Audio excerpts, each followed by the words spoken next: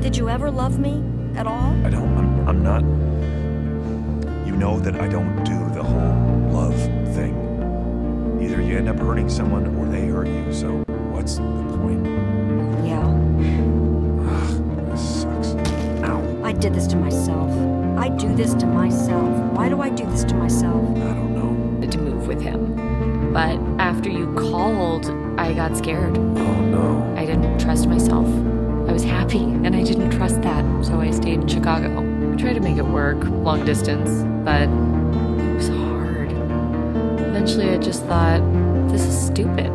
So what? You broke up with him No, I moved to Houston. to be with your boyfriend at the time? Yeah.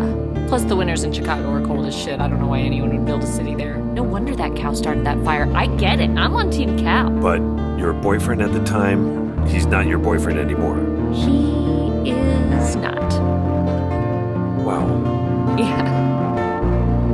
How'd you learn how to trust it? The happiness. I didn't. But I trust him.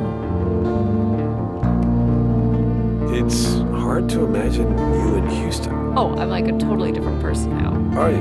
No. Yes, I, I wear fewer jackets. I smile more. Sometimes I look back at my LA years and I think, who was that person? Does she ever come back? That Diane? Sometimes. I felt her when I got back to LA.